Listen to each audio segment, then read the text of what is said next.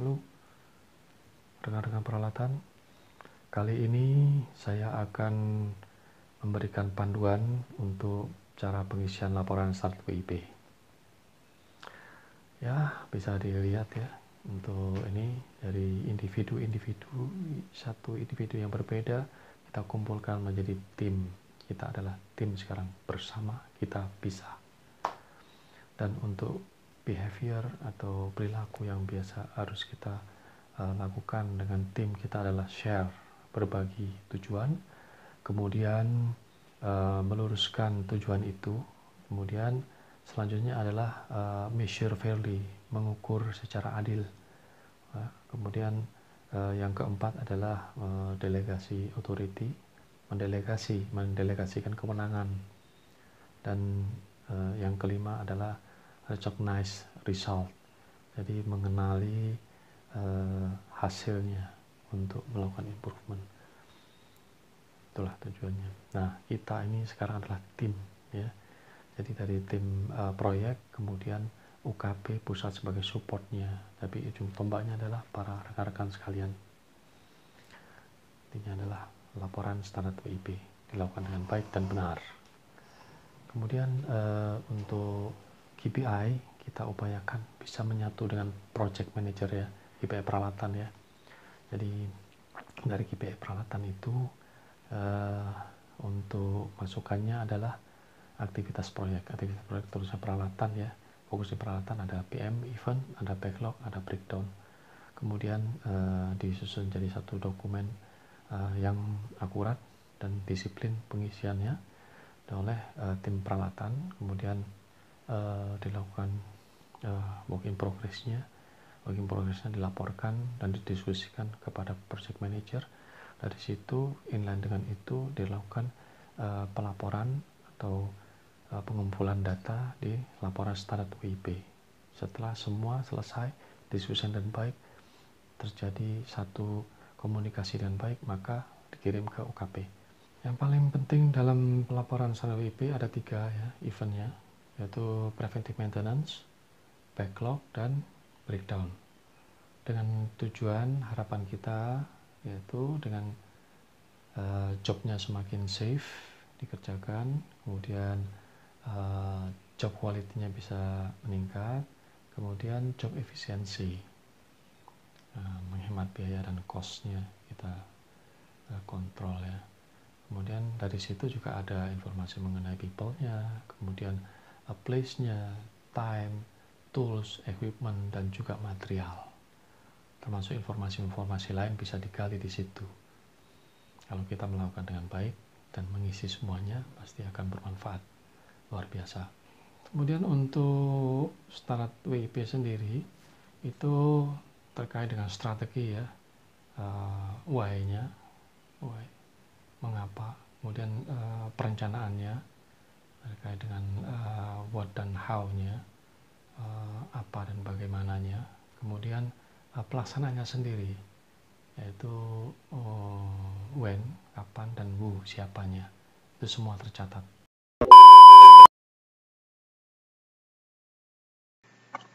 Panduan cara pengisian laporan standar WIP Work in Progress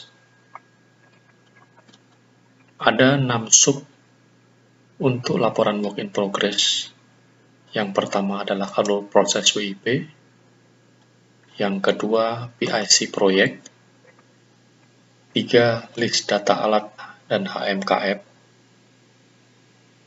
empat PM event, lima backlog, enam PD event, dan ada tiga lampiran.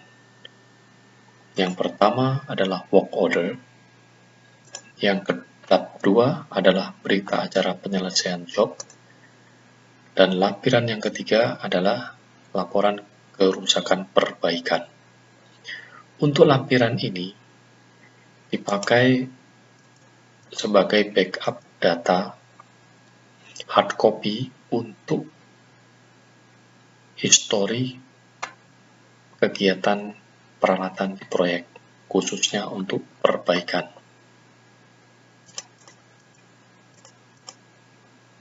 kita bahas satu persatu secara singkat dari sub 6 itu. Yang pertama adalah alur proses WIP. Alur proses WIP dibuat dengan tujuan untuk supaya alur start awal hingga akhir bisa dipahami dan dimengerti. Dan jika tidak mengerti, maka dapat membuka alur proses dan mengurutkan dari start awal, yaitu membaca alur proses, melengkapi data PIC proyek yang ada di sini, kemudian melengkapi data list alat yang ada di proyek yang ada di sini, kemudian diisi. Nanti akan dijelaskan lebih detail di contohnya ya. Kita lanjut ke alur proses. Kemudian melakukan kegiatan perawatan dari melakukan kegiatan perawatan dibagi menjadi dua yaitu perencanaan pekerjaan terencana dan pekerjaan tidak terencana Pekerjaan perencana dibagi menjadi dua lagi, yaitu preventive maintenance event dan backlog. Kali ini akan kita coba dengan salah satu contoh saja untuk PM event. Alurnya hingga kita selesaikan sampai close job. Yang lainnya nanti bisa dibaca secara uh, sendiri karena hampir sama. Oke. Jadi untuk PM event pertama-tama adalah mengisi nomor job terlebih dahulu di kolom AA. Di sini saya jelaskan kembali bahwa kita lihat warna. Warna kuning adalah PM event, warna hitam adalah backlog, Warna merah adalah breakdown event. Yang kita bahas di sini adalah PM event, sehingga PM event bisa dilinkkan dengan kuning PM event. Kita kembali ke alur proses. Untuk PM event pertama adalah mengisi nomor WO job di kolom AA. Ingat ya, kuning. Jadi kita klik kuning di sub, kemudian kita cari kolom A. Ini kolom A. Nah, diisi nomor job. Oke. Okay. Oke. Ya. Setelah itu dilanjut melengkapi data alat yang akan dilakukan perawatan rutin di kolom A sampai dengan L. Kembali lagi ke kuning. A sampai L, kolom A sampai L. Kolom A sini sampai kolom L. Nah ini. Nah ini ya. Oke. Data alat. Kita isi data alat. Kembali lagi ke alur proses Nanti akan kita lihat di contohnya. Setelah itu, mengisi hasil temuan jenis perawatan di kolom M dan N jika ada temuan backlog. Kembali lagi kuning, M dan N. Nah, M dan N. Jika ada hasil temuan dari backlog, maka ini juga sudah ada catatannya ya, bisa dibaca kalau memang uh, lupa dalam hal pengisian. Di sini ada catatan, lihat di data backlog, jika memungkinkan waktunya, maka boleh dikerjakan bersamaan dengan PM. Begitu juga ini juga ada catatan notnya, jika lupa bisa diklik di sini. Nanti untuk jenis perawatannya, karena ini PM, preventive maintenance, sehingga intervalnya 250, 500, 1000, dan 2000. Tergantung uh, strategi yang digunakan di masing-masing proyek. Bisa 500, bisa 250 intervalnya tergantung kondisinya kemudian kembali lagi di sini mengisi PIC penanggung jawab peralatan di kolom O. Kolom O oke okay, ini ya. Nah PIC nya di sini boleh diisi lebih bagus liternya ya atau penanggung jawab peralatan di sana. Dalam hal ini mungkin lebih bagus GSP sini ya. GSP-nya atau yang paling tinggi di peralatan di proyek siapa boleh diisi di sini. Karena sebagai penanggung jawab harus ada penanggung jawab.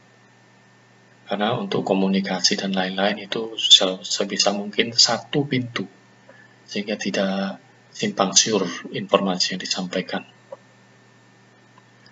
Kembali lagi setelah itu ke mengisi status job open untuk yang masih dikerjakan dan close untuk yang sudah dikerjakan dan diketahui lama waktu pengerjaan di kolom PHRS PHRS PHRS nah di sini ya. Jadi pengisiannya status jobnya open. Jika belum dikerjakan belum. Jika sudah selesai maka close. Kemudian tanggal pengerja waktu dikerjakan kapan. Jika sudah selesai, maka close. Date close. Kemudian, jika belum selesai, maka akan ada hari, jumlah hari, status opennya berapa hari. Ini dari open ke tanggal yang saat ini. Jadi open tanggal saat ini dikurangi opennya, maka akan terjadi hari yang uh, sudah berjalan. Oke, lanjut. Kemudian mengisi hours atau KM-nya saat dilakukan perawatan di kolom T dan U. Kolom T dan U. T dan U. Nah, di sini ya. T dan U. Nah, ini kilometer. Bisa bisa SMU, bisa kilometer, bisa hours, bisa kilometer ya. Jadi di sini juga bisa diisi pada saat eh, terakhir. Terakhir dilakukan apa terakhir masuk bengkel atau terakhir dilakukan pekerjaan dan pekerja, eh, masuk. Jam ya apa so, maaf HMKM yang eh, masuk saat ini. Atau bisa juga diganti dengan eh, panduan-panduan uh, yang terkait dengan HMKM di teman-teman di proyek. Oke. Jadi yang jelas ini untuk mencatat HMKM pada saat perbaikan dan historinya pada sebelum perbaikan. Terakhir pekerjaan uh, alat rusak sebelumnya. Lanjut. Berikutnya adalah mengisi rencana pelaksanaan dan realisasi dari rencana di kolom VWXY. VWXY. VWXY. Jadi uh, kita bisa kolom V itu kolom rencana. Jadi dalam satu bulan ini bisa dimasukkan semua di kolom rencana ini. Jadi dari tanggal 1 sampai dengan tanggal 30. Rencananya apa saja, tanggal berapa saja, kemudian eh, kalau akan dilakukan dan siap dilakukan, maka masukkan ke actualnya. Tanggal actualnya kapan. Jadi untuk apa namanya schedule preventive maintenance perawatan rutin itu tinggal lihat diklik di sini bulan apa nanti diklik di sini nanti muncul muncul semua yang telah direncanakan. Jadi sudah lebih mudah lagi. Kemudian waktu jam masuk sama jam keluar ini terkait nanti sama perhitungan MTTR, maintenance to repair sama MTBF maintenance to uh, before failure nantilah ya nanti akan kita bahas secara terpisah yang penting sekarang adalah membuat laporan standar WIP-nya di lebih ditingkatkan lagi kualitinya balik ke alur proses setelah itu mengisi PM job monitoring terkait alokasi mekanik, pengorderan part, monitoring, status pengiriman, kontrol biaya di kolom AP sampai dengan AP. AP sampai dengan AP ini ya. Jadi AP sampai dengan AP ini adalah job control. Yang mana ada informasi mekanik siapa yang kerjakan, berapa orang, kemudian berapa jam dia kerjakan untuk satu job itu, kemudian nanti akan bisa dihitung biaya uh, labornya. Ini akan membantu sekali teman-teman di proyek dan akan membantu sekali untuk uh, menghitung budget, kemudian mengetahui realisasi budgetnya, kemudian profit and loss dalam artian untung ruginya, itu bisa diketahui semua. Jadi akan sangat membantu untuk supaya tidak rugi, terutama bagi presisi ya. Kemudian ini PR numbernya juga uh, ada di sini, dimasukkan di sini kalau memang ada order part, PO-nya juga, order date-nya juga, part number apa saja. Tapi jika diambil dari stok, maka tidak perlu PR PO ini tidak perlu diisi. Cukup diisi di part number-nya saja. Dan pengambilannya kapan boleh diisi di sini pengambilan ke gudang proyeknya. Kemudian part deskripsinya apa, kuantitinya berapa, kemudian estimasi sampainya kapan kalau memang ada order. Kalau nggak ada order berarti nggak ada estimasi ya. Jadi tang diisi tanggalnya langsung saja, tanggal pengambilan part di gudang. Jadi LFSD-nya sama dengan 0 kalau langsung dari gudang. Kemudian part cost-nya berapa, biaya partnya, harga partnya berapa. Miscellaneous bisa diisi dengan uh, misalnya ada kebutuhan majun atau ada kebutuhan kawat las atau kebutuhan lain-lain itu masukkan ke sini miscellaneous consumable nanti biayanya berapa ada di sini nah dari satu job ini semuanya di total maka keluarlah biaya per jobnya ini dari sini udah selesai ya untuk yang PM event. Oke, okay. Sama nanti alurnya backlog juga sama, breakdown event sama, bisa dilihat di alur proses. Ya. Jadi jelas sekali bahwa kalau memang uh, masih belum bisa mengisi, maka bisa dilihat di alur proses. Lanjut ya, lanjut ke sub 2, PAC proyek. Dari PIC proyek ini yang perlu diisi yaitu nama proyek, lokasi proyek, tanggal mulai proyeknya kapan, kemudian tanggal selesainya kapan, kemudian durasi proyeknya sudah berapa lama atau berapa lama proyek itu dikerjakan. Kemudian kelas proyeknya ada A, B, dan C. A itu adalah 0 sampai 50 jumlah alat, kemudian B itu 50 sampai 100 jumlah alat, Kemudian untuk yang C itu lebih dari 100. Nah, masuk yang mana nih? Masuk klasifikasi A, B, atau C. Nah, klasifikasi ini fungsinya adalah untuk nantinya rasio. Bisa diketahui berapa sih rasionya, rasio antara mekanik dan alat. Ya, kita belum bicara mengenai standar rasio ya nanti kita bicarakan lagi di sesi yang lain. Kemudian nomor BPS ya, isi nomor BPS-nya berapa. Kemudian untuk nama karyawannya siapa, yang ada seluruh yang ada di proyek. Dari PM sampai level bawah. Sampai level kebila perlu sampai level UB pokoknya semua proyek semua tim yang di proyek. Kecuali operator ya. Tidak perlu operator. Tapi kalau mau dimasukkan semua boleh. Kalau bisa masukkan semua bagus, kalau enggak pun ya tidak apa-apa. Yang utama adalah tim peralatan. Jadi, jadi tim inti presisi ditambah tim peralatan. Ya. Dan fungsinya apa? Ini ada sudah ada semua nih diisi di catatannya. Kalau memang apa bingung, di sini sudah ada semua catatannya, bisa dilihat. Oke, kemudian kita masuk list data alat. Nah, ini ya. Ini yang diisi tadi sesuai dengan list datanya. Nanti data ini dari A sampai L. Eh, A sampai ya, dari sini A sampai K ini bisa di copy paste.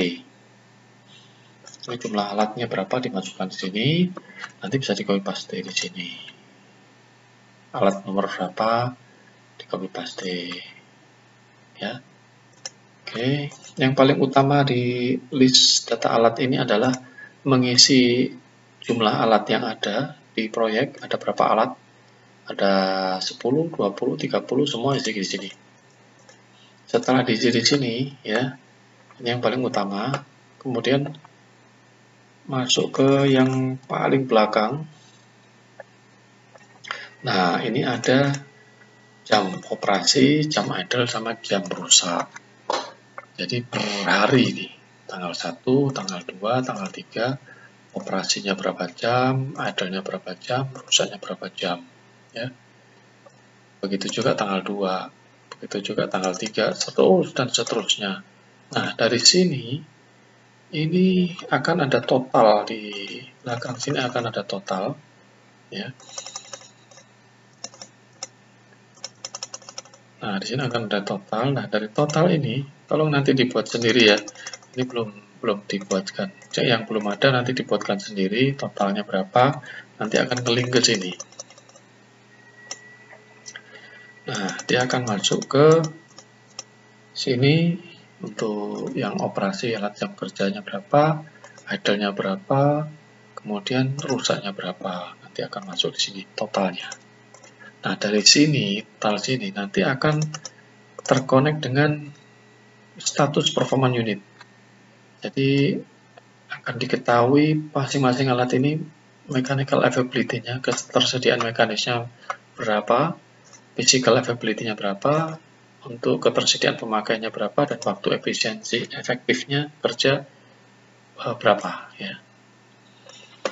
Oke, ini mempermudah teman-teman di proyek untuk menganalisa uh, kinerjanya tim dan kinerja alat dan uh, performan operasi. Oke, ini nanti saja diisi bertahap ya. Kita ngisi yang yang paling penting dulu saja. Oke, kemudian kita masuk ke sub yang ke 1, 2, 3, 4 sub yang keempat sudah ya kita lewati saja tadi sudah. Kemudian kita masuk sub kelima backlog. Backlog ini untuk kolom yang A sampai dengan L ini sama ya. Jadi tinggal copy paste dari list data alat kemudian satu salah satu alat yang sudah dilakukan backlog. Kemudian di copy di sini salah satu alatnya nggak usah ngetik lagi ya Kemudian untuk hasil temuannya bisa diisi di sini. Ini ada catatannya, masukkan hasil temuan dari list P2H, checklist, dan inspeksi harian. Dan usahakan ya agar selalu sama dalam mengisi temuan agar mudah dalam mengelompokkan analisanya nanti. Nah, di sini nih fungsinya nih. Kalau kita samakan, misalnya nih uh, temuan apa uh, pin pusing oblak. Nah ini bahasanya samain aja pin pusing oblak. Kalau ketemu ya sama pin pusing oblak. Jangan diganti-ganti. Nanti ada berapa banyak dalam satu bulan ada pin pusing yang oblak temuannya. Nanti diklik di sini nanti akan muncul satu tipe temuan ya nanti bisa memudahkan rekan-rekan sekalian untuk menganalisa. Oke, begitu juga jenis perawatannya juga bisa diisi. Ya, nah selanjutnya pengisian ini ada di alur proses, bisa dibaca sendiri ya untuk mempersingkat waktu. Next kita lanjut ke PD event breakdown. Nah ini ini yang harus dihindari. Kalau bisa, kalau sudah dilakukan PM event dan backlog event dengan baik, mudah-mudahan breakdown event ini bisa dieliminasi, dikurangi, bahkan hingga sampai nol. Tapi nggak mungkin lah ya kalau nol ya, karena e, alat itu beroperasi, kemudian kondisi realnya juga mungkin ada yang medannya berat, mungkin ada yang medannya ringan ya, dan ini pastilah ada kecil-kecil tuh ada, cuman ya bagaimana caranya kita mengeliminasi itu. Oke, yang paling penting di sini adalah sama semuanya sama ya. Yang yang membedakan backlog in, eh, breakdown event ini adalah area ada area improvement nih. Tambahannya ini. Kenapa? Karena kita harus tahu nih penyebab kerusakannya. Jadi area improvement ini apa sih kerusakannya? Kemudian uh, siapa sih penanggung jawabnya? Kemudian kapan sih akan uh, selesai pekerjaannya? Nah, ini diskusikan selalu diskusikan dengan tim ya. Dengan tim dan ini uh, bisa dipakai untuk meeting rutin bersama timnya masing-masing di proyek agar lebih solid lagi, lebih bisa mengetahui kelebihan dan kekurangannya. Kalau kekurangannya diisi ditambah, improve dan di develop ya teman-teman semuanya yang siapa yang kira-kira uh, ketinggalan bisa di uh, di develop atau di training atau di apalah yang penting bisa menjadikan tim itu kuat saling mengisi kekurangan ya oke okay. Jangan mencari kekurangan dan kesalahan tapi mengisi. Nah ini ada kenapa. Misalnya apa namanya uh, misalnya katakanlah uh, apa nih? Hmm, pin pin pusing. Pin pusing uh, oblak. Ya katakanlah pin pusing oblak kenapa pin pusing oblak ya karena sudah aus nah oke okay. karena tulis di sini karena sudah aus kenapa aus nah dia karena gesekan oke okay, tulis karena gesekan kenapa karena gesekan ya karena tidak ada pelumasan oke okay. Kenapa tidak ada pelumasan? Jawab di sini nomor 4. Nah, karena eh, buntu, gitu kan, levelnya buntu. Nah, begitu levelnya buntu, kenapa buntu? Tulis lagi sini. Karena banyak kotoran. Nah, oke, okay. banyak kotoran kenapa? Nah, karena tidak pernah dibersihkan. Jadi, di sini root cause-nya tidak pernah dibersihkan. Ini Nah, ya kan ketemu. Ketemu dengan sendirinya nanti. Nah, kemudian progresnya apa? Week 1. Oblak misalnya. Pin pushing oblak nomor satu ya dischedulkan untuk ya atau ya memang sudah breakdown ya berarti dikerjakan ya dikerjakan di order spare partnya. Nih spare part baru datang uh, hari ini atau besok. Nah besok berarti ya di sini lagi di sini. Week kedua kalau uh, minggu kedua masih belum selesai ya tulis di sini. Minggu masih masuk minggu pertama tulis di sini semua ya alurnya. Kemudian di situ ketemu tindakan perbaikan corrective actionnya. Nah apa sih? Untuk supaya pin boxing itu nggak rusak terus terkait sama root cause-nya. Ini kan tadi root cause-nya apa tuh?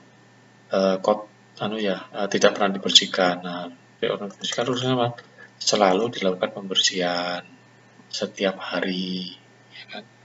untuk lokasi di sekitar pin pusing dan Apple pastikan itu tidak buntu atau tidak kotor. Udah itu aja. Selesai sudah. Nah tinggal lampiran-lampirannya disertakan WO nomor WO nya berita acara penyelesaian pekerjaannya. Jangan lupa tanda tangan ya PM proyek ya. Dan ini semuanya supaya informasi ini satu sama jadi nggak simpang siur dan job itu selesai dikerjakan ya benar-benar selesai ya. Nggak ngambang nantinya. Selesai selesai tapi ternyata belum selesai.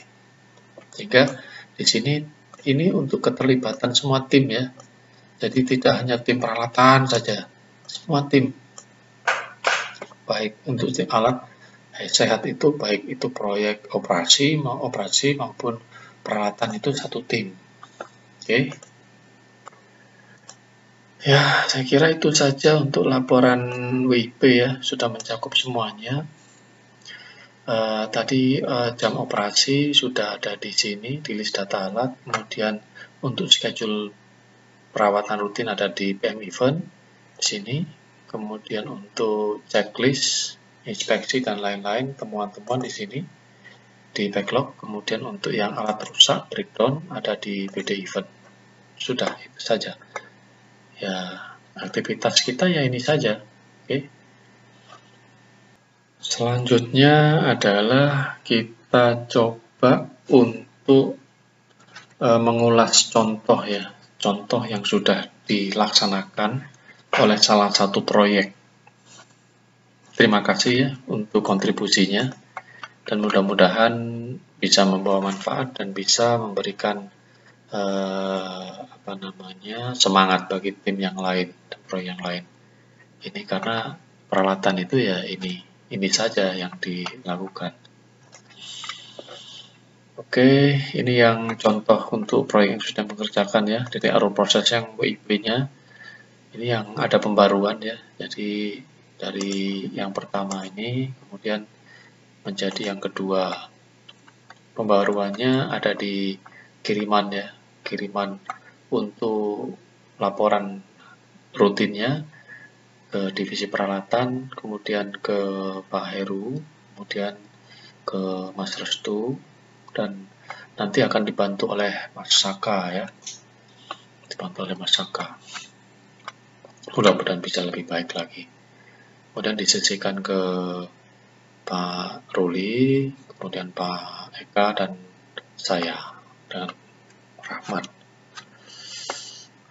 Oke, kemudian PIC-nya ini sudah diisi ya. Bendungan, eh, nama proyeknya Bendungan Louis Keris, lokasi proyek Tasikmalaya, tanggal mulai 17 Mei 2017, tanggal selesai 21 Agustus 2021. Nah, ini durasi proyeknya sudah 1440 hari. Ya. Nah, kelas proyeknya dia karena 40 alat jadi kelas A Kemudian untuk WPS proyeknya ini ya, nomor WPS proyeknya. Kemudian personal personil peralatannya ada 20. Nah, ini kan sudah diisi semua. Nah, ini kenapa diisi semua? Jadi, kalau ada sesuatu, kami dari pusat bisa membantu dengan lebih cepat lagi. Jadi siapa anunya apa e, penanggung jawabnya, kemudian PM-nya siapa. Kalau memang mentok, kita akan bantu. Oke. Ini sudah bagus ya, sudah diisi semua. Kemudian kita tahu klasifikasinya, kelas A. Kemudian jumlah orang yang kita sudah tahu, sehingga rasionya bisa diketahui ya. Nah, ini masih hijau. Hijau itu udah bagus sekali ya. Nanti kuning itu hati-hati, merah itu kurang. Nah, Oke. Okay. Nah, kemudian list data alat sudah diisi sama tim proyek ini dia punya alatnya sejumlah berapa nih? 41 ya. Nah kenapa 41 karena sudah ada beberapa sebagian yang kembali. Yang merah ini udah kembali. Udah dipakai ke proyek lain. Nah tadi setelah diisi kemudian yang diisi berikutnya di kolom ini adalah jam operasi, jam idle, sama jam rusak Nah, ini mereka sudah melakukan pengisian nih. Tuh, kan. Nah, dari tanggal 1 sampai dengan tanggal uh, hari ini. Tanggal berapa nih? 12. Ya. Nah, dari sini ini ada total, ya kan? Sudah ada otomatis totalnya, operasi berapa, adalah untuk EXA 02, operasi 80, idle 10, rusaknya 50. Nah, begitu juga alat yang lain ya. Oke, nah dari sini nanti connect ke sini nih, ke Nah, ini masuk ke sini. Dari totalnya operasi idle sama rusak. Nah, dari sini dari untuk unit awas parameternya masuk ke status performance unit. Nah, ketemulah eh, status performance unitnya satu persatu. Ya kan? Kita mau tahu mana nih yang kira-kira MA, PA, UA, sama EU-nya yang paling rendah atau paling tinggi untuk kita lakukan improvement ya kan jadi semakin spesifik kita nanti mana saja enggak enggak eh, apa eh, jadi ya, makin terarah ya sesuai dengan yang tadi ya ada goalnya kemudian alignment goalnya bagaimana kemudian dicari distribusi solusinya apa untuk mencapai itu tadi seperti yang pertama Oke. Nah, di sini bisa diketahui nih. Nih. Ya, week 23 sampai week 23 hasilnya bagaimana? Ini week 23 ya. MA-nya berapa dari jumlah uh, OIR-nya, operasi idle jam rusaknya, maka bisa diketahui MA, PA, UA sama EU. Ya kan?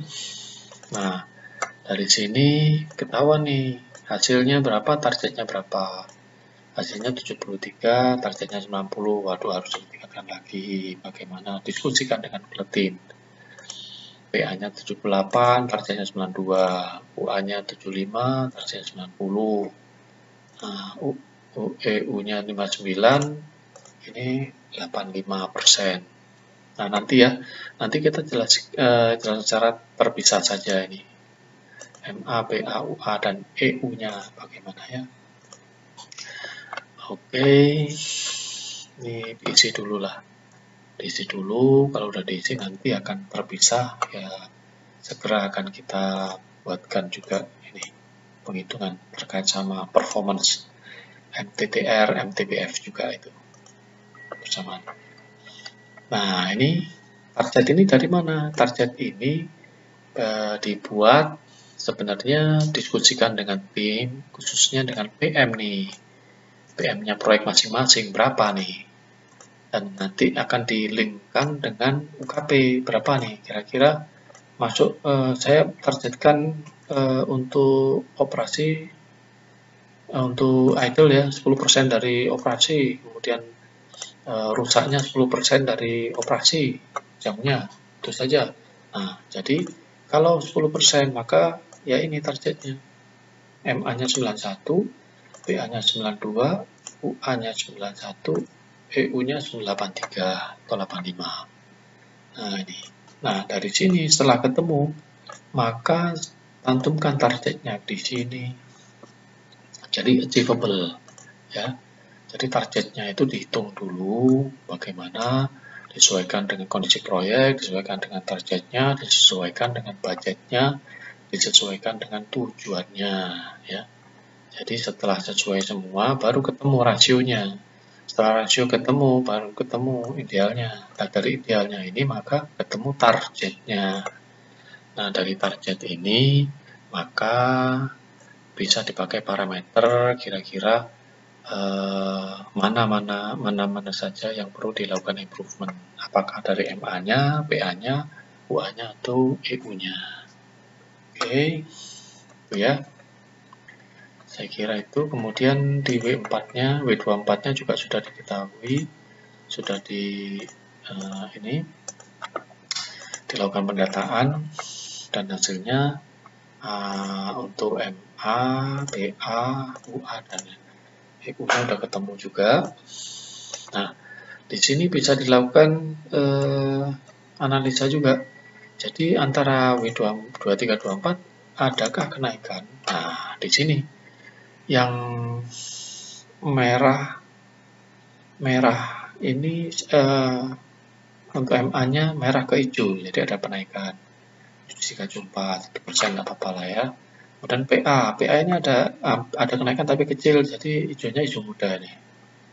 Kemudian UA-nya ada kenaikan juga, kemudian EU-nya ada kenaikan. Jadi bagus, makin bagus nih. Semakin tinggi makin bagus yang targetnya kan. Tadi berapa? 90. 92, 85, 50 ya. Jadi itu ya, bisa diketahui. Oke, untuk PM event juga sudah sama, tinggal dilihat. Tadi ya, kita coba untuk plan-nya. Untuk plan-nya, nah ini kan, nih diklik, klik di sini, nah ini bulannya muncul nih, ya kan, diklik aja di bulan, oke, oke. Oke ya, untuk PM event ini yang paling penting adalah uh, plan-nya ya, diisi. Nah, coba kita lihat kalau sudah diisi semua, kita bisa lihat nih. Misalnya kita lihat bulan Januari, berapa sih yang sudah dilakukan uh, perawatan rutin di bulan Januari. Nah, ini kan ada 5 untuk perawatan rutin kemudian di bulan Februari berapa sih nah di bulan Februari banyak nih ada 17 ya kan? Kemudian di bulan Maret apa nih? Berapa nah ini ada berapa nih ada 11 ya kan? Kemudian di bulan April sama Mei sama ya. Nah, nanti untuk yang bulan Juni nah, yang bulan Juni diisi juga nggak apa-apa. Bahkan sampai Juli pun nggak apa-apa. Sampai Juli, Juli Agustus juga nggak apa-apa. Jadi untuk perencanaannya diisi aja di sini. Nah, aktualnya nanti kosong. Nanti setelah pelaksanaan terjadi terjadi pelaksanaan nah baru diisi aktualnya tuh yang kosong maka yang belum dilakukan sebagai rencana. Oke? Okay? Nah, kemudian di sini, nah ini kalau diisi, nah sebisa mungkin diisi ya ini untuk biaya apa harga-harganya sehingga ketahuan nih uh, berapa berapa per PM-nya ini berapa totalnya kosnya. Nah dari sini nanti bisa dijumlahkan. Nah apakah sesuai dengan budgetnya atau tidak atau lebih atau masih jauh dari budget begitu ya oke kita masuk ke backlog. Backlog juga sama. Namun di sini ada beberapa yang perlu diperbaiki eh, lagi. Ya cukup bagus sih sudah cukup bagus ya.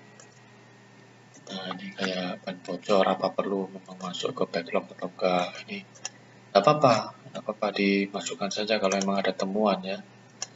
Temuan pada saat inspeksi ternyata ditemukan bocor, ya gak apa-apa tulis saja di sini. Oke, belt kendor, ya kan. Nah ini belt kendor, kemudian rem kurang respon, uh, fog lamp mati, lampu rem kiri mati. Nah ini apa-apa diisi aja. Nanti bisa di, nah, di sini di short apa sih kira-kira berapa banyak sih ban apa uh, laut nah satu. Nah nanti makanya kenapa harus diseragamkan kalau mirip-mirip sama temuannya kerusakannya ya diseragamkan saja. Oke. Okay.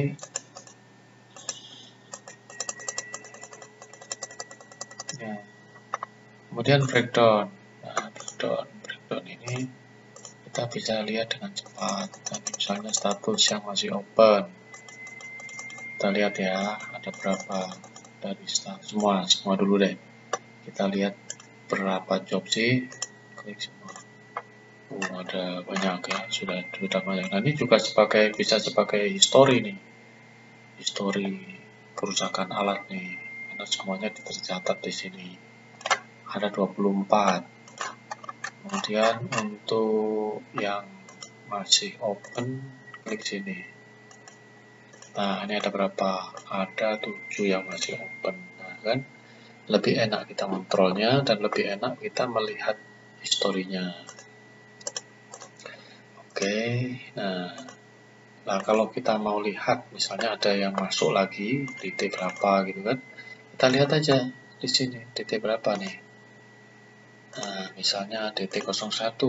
Nah, wih, DT01 banyak nih. Nah, ini kan ketahuan nih banyak rusak nih. Nah baru nanti dilihat dicari rusakannya apa. Rusak ringan wah rusak ringan tapi sering ya kan? Nah ini apa nih? Nah, kita lihat improvementnya di mana oh tertusuk batu tajam. Nah ini kan terus batu tajam. Kenapa terus batu tajam? Karena jalannya rusak. Nah ini y ditambahin ya. Y ditambahin terus karena jalannya rusak gejala rusak kenapa rusak? Karena tidak pernah diperbaiki. Kenapa tidak pernah diperbaiki? Karena tidak ada orang operasi. Kenapa tidak operasi karena kurang. Nah, tugasnya kurang orang sini ya. Nah, oke. Okay. nah nanti uh, apa uh, progres perbaikannya apa? Nah, kemudian improvementnya apa? Didiskusikan dengan tim operasi terkait dengan kondisi jalan. Oke. okay itu makanya kenapa perlunya didiskusikan dengan PM project manager. Ini sudah level-levelnya project manager juga sudah boleh nih. Apa-apa. Karena kita sudah punya data yang akurat dan sudah punya analisa-analisa yang sangat detail. Jadi cukup membantu project manager. Apa-apa. Tujuannya baik ini.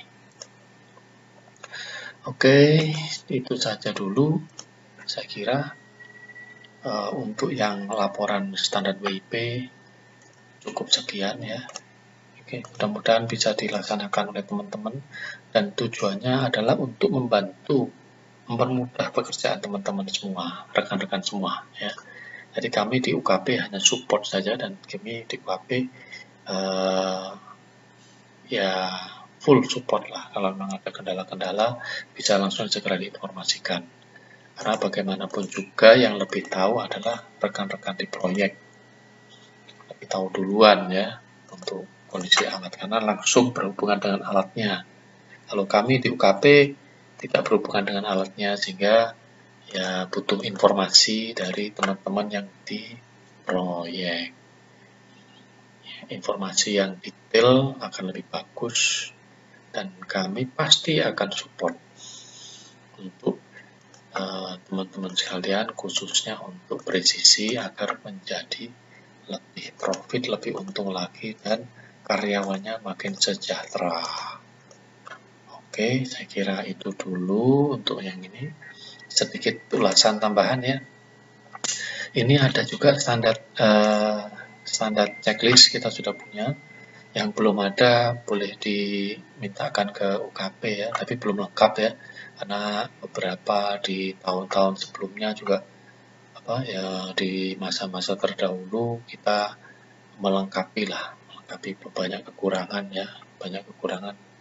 Dan itu yang perlu kita perbaiki bersama sama tidak bisa sendiri-sendiri. Kemudian forecast part stoknya eh sorry ya forecast part stock kita juga sudah ada. Terkait sama MM material maintenance-nya kita juga sudah punya, sudah pernah kita kirimkan juga sebagai panduan teman-teman untuk membuat forecast. Ada berbagai, sudah ada berbagai macam alat ya. Jadi kalau uh, ada tambahan lagi akan kita masukkan lagi. Sementara yang ada ini saja dulu yang sesuai di list ya untuk apa uh, spare part list untuk preventive maintenance. Oke, saya kira itu saja dulu. Oke, terima kasih atas uh, waktunya untuk mendengarkan. Mudah-mudahan bermanfaat dan silakan dilakukan. Dan mudah-mudahan memberikan manfaat yang baik. Terima kasih.